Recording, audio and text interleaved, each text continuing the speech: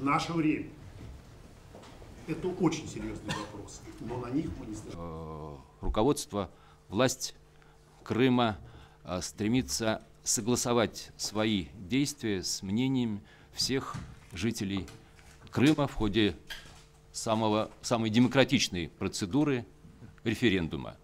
Мы с уважением отнесемся к историческому выбору населения Крыма. Москва должна все поддержать жестко, быстро, и я уверен, что все будет на 110%.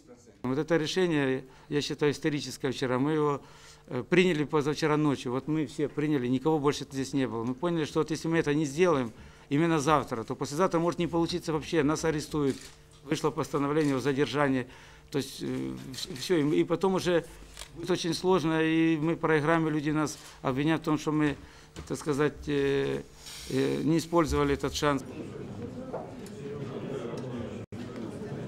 Мы не только приветствуем, мы считаем, что вы выбрали наиболее точную и верную форму выражения воли народа, потому что высшая воля народа реализуется или на честных выборах, или на референдуме. В данном случае референдум, который вы проводите, я не знаю ни одного аргумента, который могли бы выдвинуть те же западные доброхоты, которые поддерживают бандеровскую власть в Киеве. Референдум достоинства.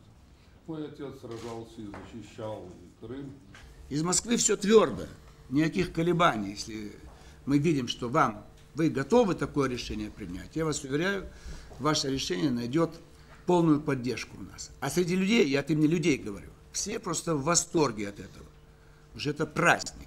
Уже ее не изменить. Ну, разве можно адекватным назвать Миллионы приедут отдыхать к вам, миллионы. И все экономические проблемы будут решены. Все будет решено, и мы будем провожать наши корабли в дальние походы. Снова Севастополь будет именно базой русского военно-морского флота. Правительство победителей сформировано.